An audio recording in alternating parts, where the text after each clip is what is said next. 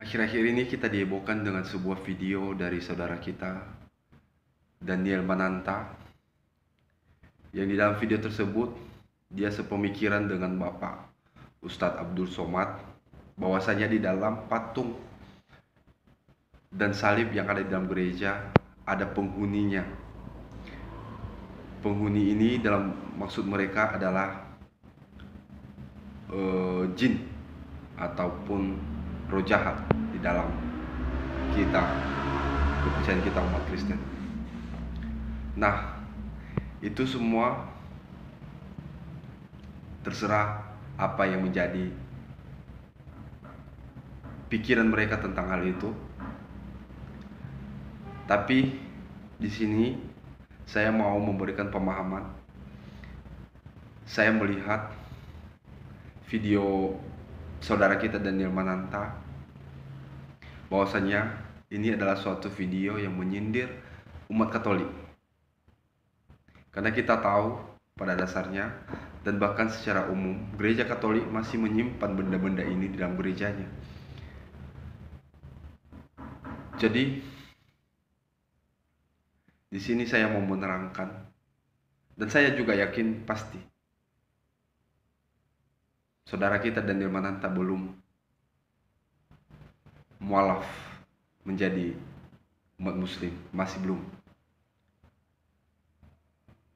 saya ber, saya minta bersyukur sekali kepada Tuhan jika saudara kita Daniel Mananta melihat video ini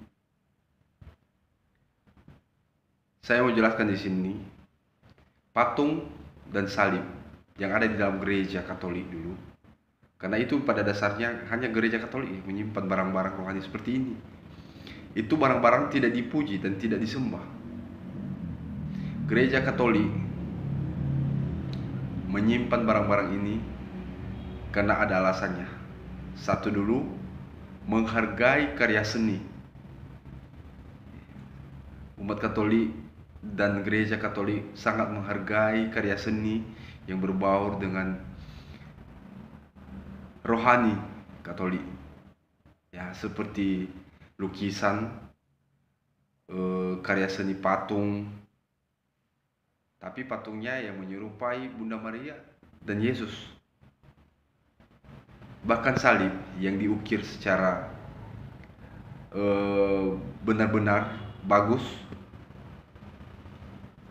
itu mereka simpan. Jadi umat Katolik atau gereja Katolik menghargai, sangat menghargai karya seni yang berbaur dengan rohani.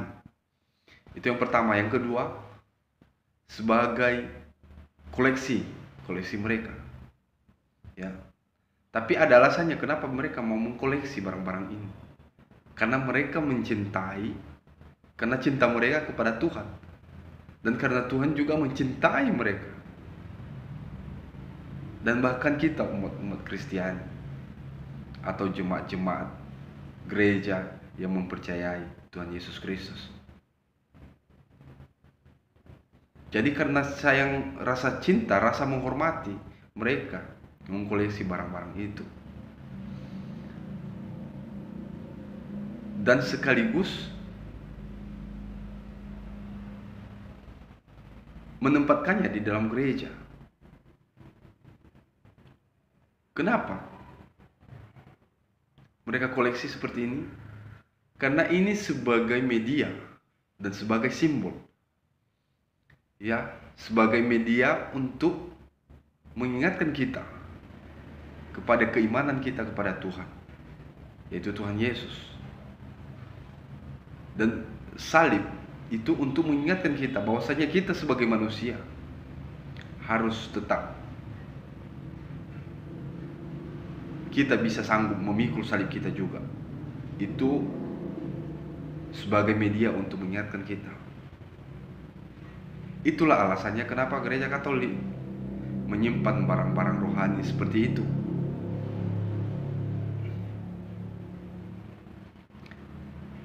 Nah, di dalam hal ini saya mau memberikan sedikit referensi untuk kita semua. Misalkan kita ini mempunyai orang yang kita cintai. kita mempunyai orang yang kita cinta, yang kita sayang. Mungkin kakek kita atau nenek kita atau orang tua kita bahkan walaupun masih ada ataupun sudah berpulang kepada Bapa. Karena saking sayangnya kita itu menyimpan foto mereka. Kita simpan di handphone kita atau kita atau ada foto-foto mereka dulu kita bersihkan kita muat di dalam bingkai foto baru kita tempel di atas dinding. Kenapa bisa kita tempel seperti itu? Itu sebagai media kita untuk mengingatkan kita kepada mereka bahwa mereka itu adalah dulu orang-orang yang pernah kita cintai dan orang kita sayang. Nah, apa salahnya kita juga sama menyimpan barang-barang yang berkaitan dengan Tuhan, ketuhanan. Menyimpan barang-barang kepada orang yang kita junjung, orang yang kita hormati seperti Bunda Maria. Terlebih-lebih terhadap salib sebagai media kita untuk mengingatkan kita setiap saat bahwa kita ini adalah pengikut daripada Kristus sebagai media. Jadi benda-benda ini bukan dipuji, bukan disembah. Bukan kita sembah patungnya, bukan. Tapi sebagai media kita, media orang-orang Katolik untuk mengingatkan mereka kembali ke dalam keimanan mereka. Nah, selama ini banyak orang-orang reform, orang-orang pendeta, orang-orang e, protestan yang mempertanyakan hal-hal ini dan bahkan menuduh umat Katolik menyembah patung buatan manusia, menyembah salib, bahkan menyembah Bunda Maria itu salah sekali. Jadi cari tahu dulu, tanya dulu kepada orang-orang Katolik biar tidak gagal paham. Nah, seperti orang-orang yang di luar Katolik, orang-orang Protestan, Kristen Protestan, sering mengatakan Katolik menyembah patung, Katolik menyembah salib. Itu salah. Ya itu udah saya katakan tadi ini hanya sebagai media dan simbol bagi umat Katolik untuk mengingatkan mereka kepada Tuhan. Ya ketika kita tidak sengaja melihat benda-benda tersebut berarti kita sudah mengarah kepada Tuhan jadi bukan kita sembah nah anda menuduh seperti itu, Anda mengatakan seperti itu. Umat Katolik menyembah salib, menyembah patung. Sekarang kita bicara dulu dengan salib. Di gereja Anda kok saya melihat secara keseluruhan ini baik itu di gereja Protestan, gereja Reform, gereja karismatik, gereja Bethel dan gereja yang lain-lainnya Bahkan mereka membuat salibnya itu lebih tinggi dari bangunan gereja. Mereka menjadikan salib itu, mereka jadikan salib itu sebagai maligai di atas gereja. Nah berarti salib itu secara tidak langsung sudah kita tinggikan. Nah, dalam hal ini umat Katolik tidak pernah menuduh bahwasanya kalian menuhankan atau memuji daripada salib itu atau menyembah salib itu. Tidak.